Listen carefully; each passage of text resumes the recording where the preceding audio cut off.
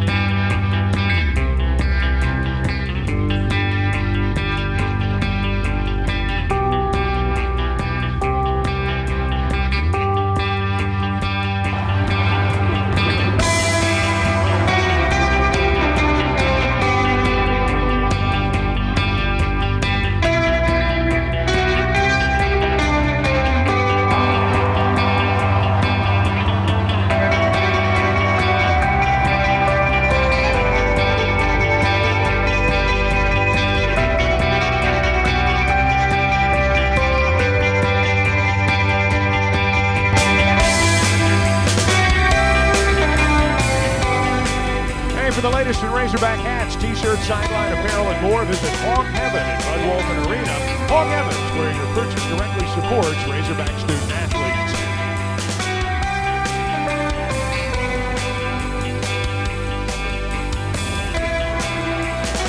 High formation.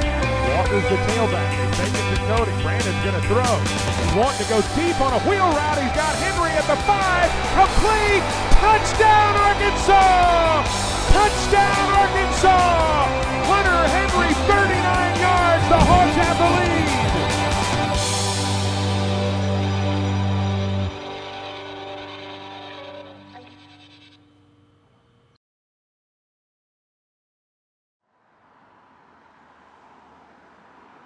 really good during the fall camp or during the week as well. In in terms of homecoming, eh, sometimes it's a big deal with the team, sometimes it's not. You treat? You know, um, I'm just, a, you know, getting close to 20 years of coaching for me, and I can't even tell you. I know I played in 20 homecoming games, I guess, no, but I couldn't tell you which one's which. Man. It's more for the, uh, I think the people coming back and, you know, all that other stuff. But we'll, we'll put on a good show for sure. Well, it was a great show last Saturday. We look forward to this Saturday. Congratulations on the win. Let's hear it for Brett Beal and the folks before we begin. Chuck Barrett is arguably the most famous broadcaster in the state of Arkansas. But many of his fans have never seen his face. PJ Dozier back in for the Gamecocks, handles it out front, drives to the basket, lays it up with a left hand, no good. A lot of contact underneath. They're going to say it's off Arkansas. Stays with Carolina. Eric Cobb went in there like a truck. This to make it a 35 to 31 ball game. Good snap, good hold. The kick splits the uprights, and Arkansas Barrett does the play by play radio broadcasts for the Arkansas Razorbacks football and basketball teams, giving him the title Voice of the Razorbacks. Barrett's broadcasting career began in Clarksville, Arkansas, at 16, after the local Little League announcer failed to show up for work.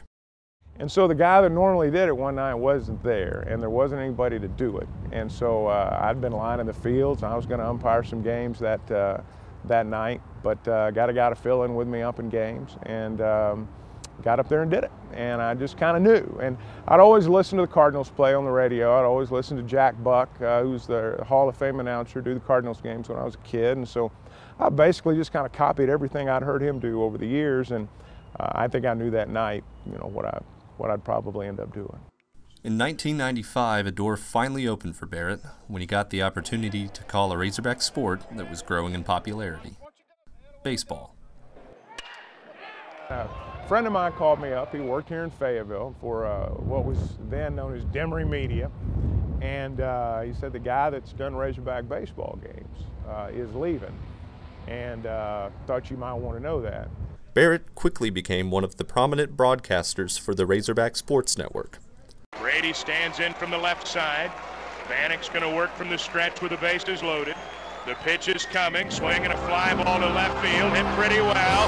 Going back is Napolitan. That ball's gone. That's a grand slam home run. Brady Toops just hit a grand slam home run, and the Razorbacks have taken the lead.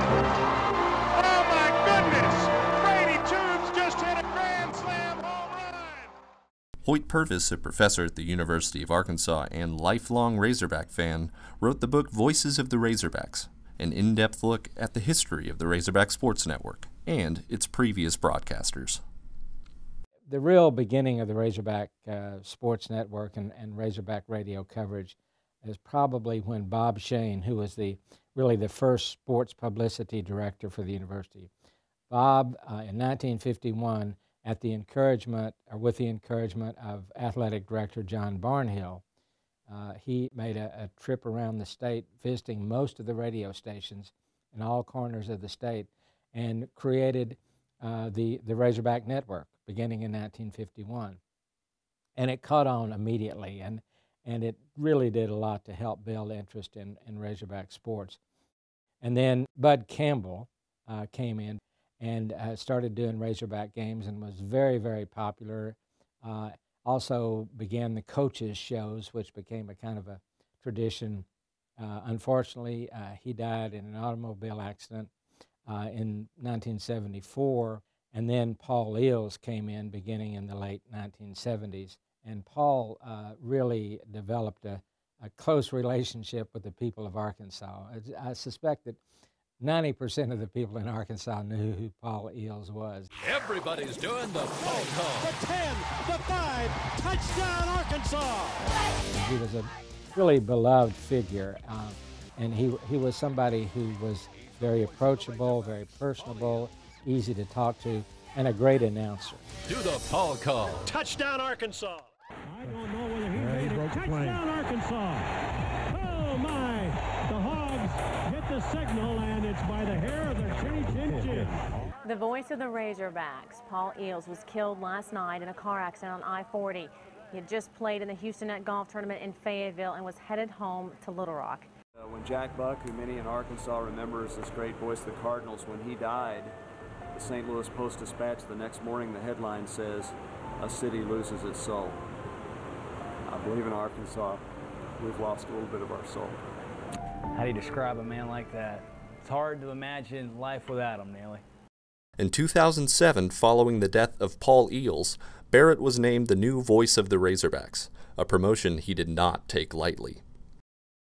It's important to the people of our state, and I understand that. And I think that's, that's, that's one of the things that I do understand very, very well. Um, I grew up in an era when every game was not on television. And uh, um, there were lots of nights football and basketball season when the radio was your window to the Razorbacks. And uh, I know there are a lot of them out there still. Um, I think about people like my grandmother, who uh, uh, in her latter years, she listened to one station on the radio because she couldn't get up and change it. And um, I think about the little old ladies and the little old men who listen to the ball games because that's what they've always done. That stuff's important. It's part of our heritage. It's part of who we are. Um, and I think it's important. I think it goes way beyond football. It goes way beyond broadcast. Uh, it's part of our fiber as Arkansans. And I think that's important and I think it's worth preserving. Barrett became the first triple threat broadcaster in the history of Razorback sports, doing play by play for football, basketball, and baseball until 2011. For all of his football broadcasts, Barrett works with a team including former NFL player and color commentator Keith Jackson. Chuck's been delightful to work with. The whole time I've been here, he's been here in different capacities, and he's always been very professional. Uh, he's always been very prepared. He's always uh, so knowledgeable about every situation that it makes it so easy for me as a color analyst to be able to do my part of the game. Time. Reed comes wide right. Collins the lone setback. Hogs load up on the left side. Two tight ends in the ball game. They'll fake it that way. Now Allen rolls right, naked bootleg, has Sprinkle wide open at the 40 to midfield. Inside UT Martin territory, they'll run him out of bounds in front of the Razorback bench at the 38 yard line. 37 yards on the play. Well executed, executed play. Unbelievable play. But not only that, when you see Sprinkle gets the ball in his hand, it almost looked like he's jogging, but he's moving so fast, just long strides he can really run, and that's a big body in open field. He is a weapon. Sprinkle with his 12th catch of the year, 6'6", 255 pounds, junior out of Whitehall.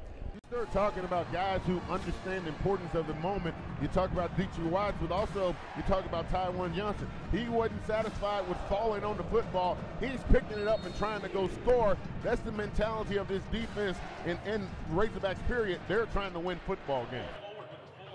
Barrett's key to a successful broadcast is a surprisingly simple one. Starts with preparation. Preparation is the most important thing. When you get to the point where you enjoy preparing as much, if not more, than you enjoy the actual broadcast, that's when you got a chance to be good.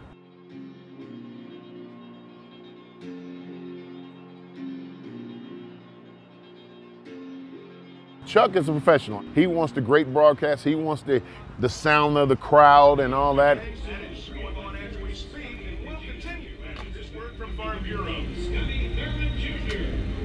Guys, I hate doing it. I got over this middle window. I'm sorry. I, I can't see. Yeah, I don't like the way it sounds. I didn't. Yeah, I can't. Jack when they ran on the field. I just can't do it. I'm sorry. You know I have a problem with the windows being taken out, especially in the cold.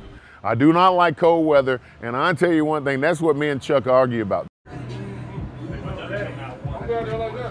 Hey man, how many windows y'all taking out? Every one of them. I thought we said two.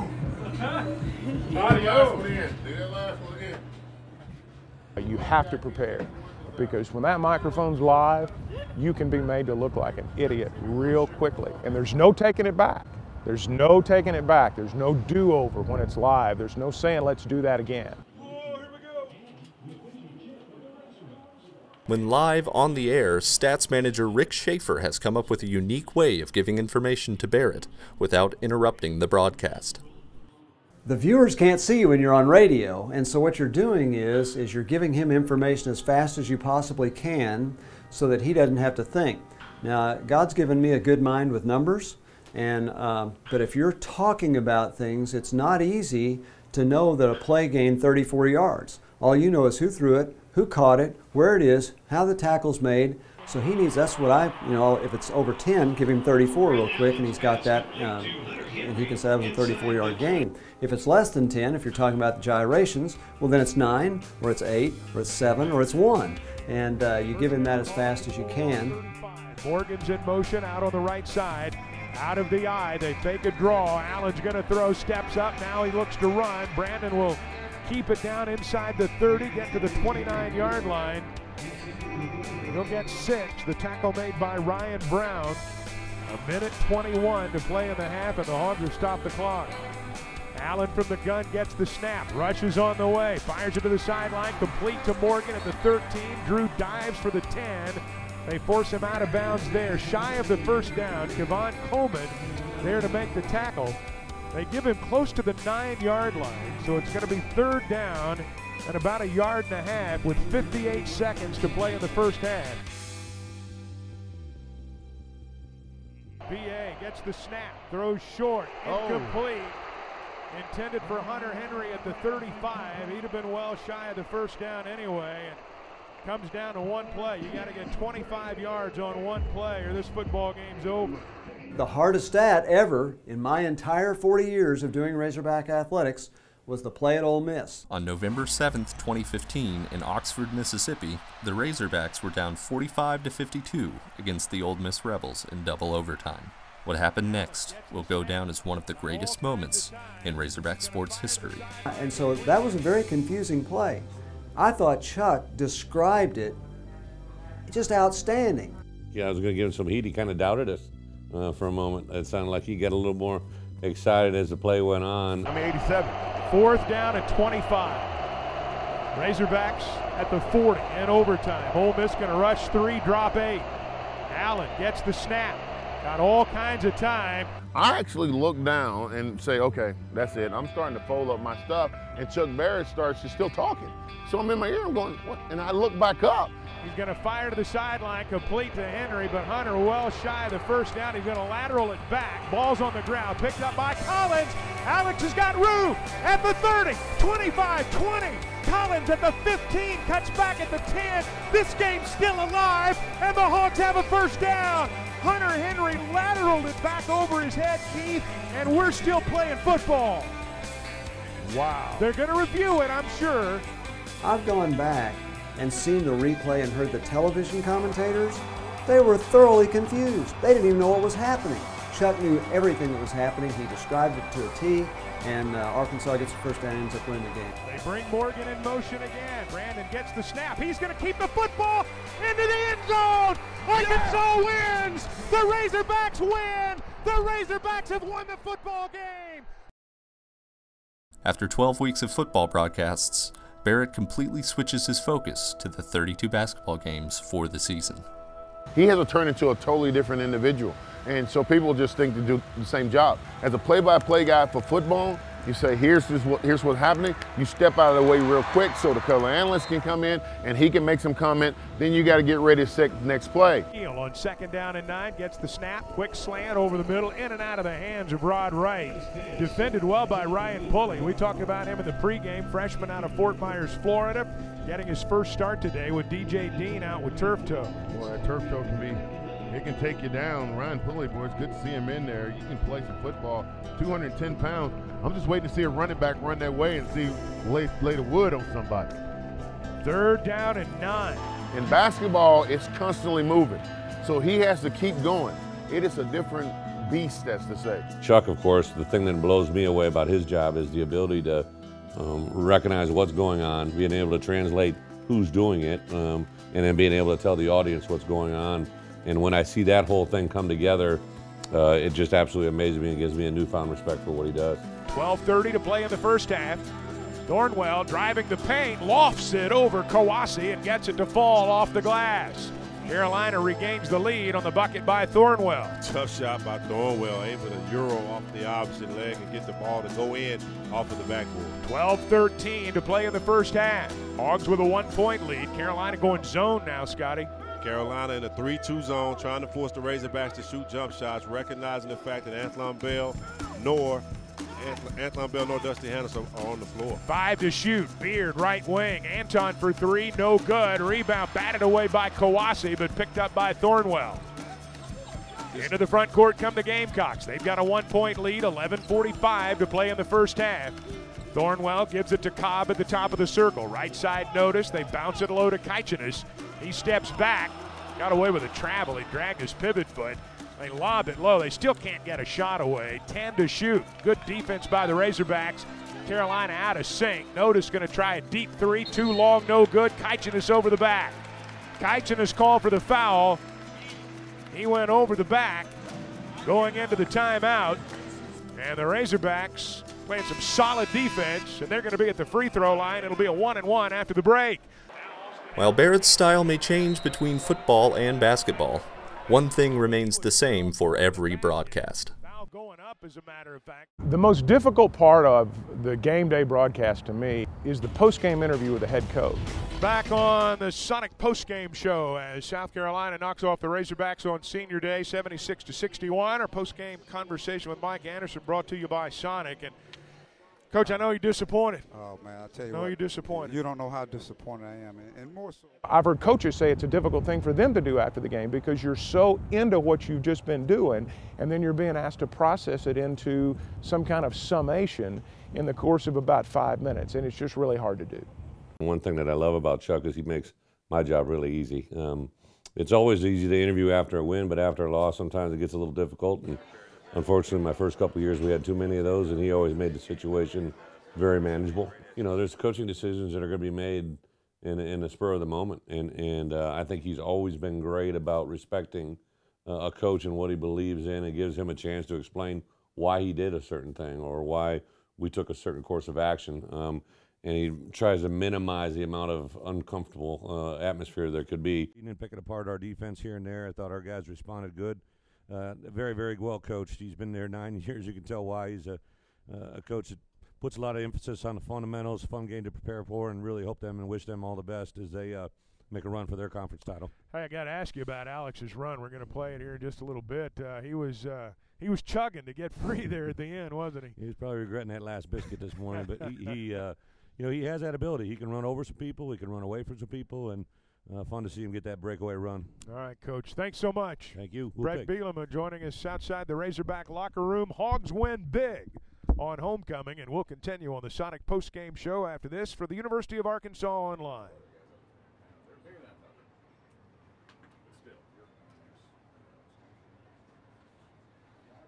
After over 20 years with the Razorback Sports Network, Barrett does not see his time as the voice of the Razorbacks ending anytime soon.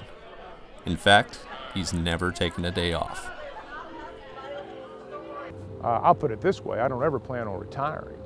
Um, I, am 52, and if you know, if my health allows and I'm blessed, I, I mean, I'll work till I can't. I don't envision myself doing anything else. And if you were to ask me, would you be completely satisfied if this were your last job and you were able to do it until you're 75? I'd say absolutely. Sign me up. Dusty's on the wing for three, and it's good! With 5.39 to play. Getting crazy in the bud on senior day. One, two, one, two, three, five. Alex in the 30, and there he goes. He's going to score. Big, big play after big play. Oh, the Razorbacks were all over it. Terrific defense. To the house. Touchdown, Arkansas.